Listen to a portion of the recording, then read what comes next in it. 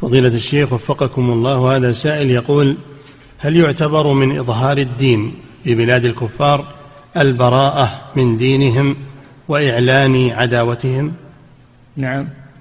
هل يعتبر من إظهار الدين في بلاد الكفار البراءة من دين الكفار وإعلان عداوتهم؟ كيف تعلن عداوتهم وأنت عاقد معهم الأمان؟ لا لا تعلن عداوتهم. أعلن الأمان معهم. موجب العهد. نعم. إعداد مشروع كبار العلماء بالكويت أعزها الله بالتوحيد والسنة.